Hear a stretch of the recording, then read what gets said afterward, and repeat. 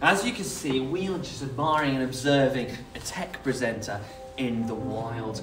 Now, what's he gonna wear? Is he gonna wear Gabba? Is he gonna go for full lycra? Who knows? How is he gonna stay nice and dry in some pretty dangerous weather? The tech presenter has had many years of evolution to get to this point, and without his trusty Allen keys, he is finding it hard in his vehicle. Some small spaces to fit into those leggings. A thousand watts might just see him get out the car.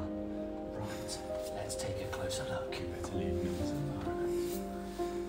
I think he had eggs for breakfast.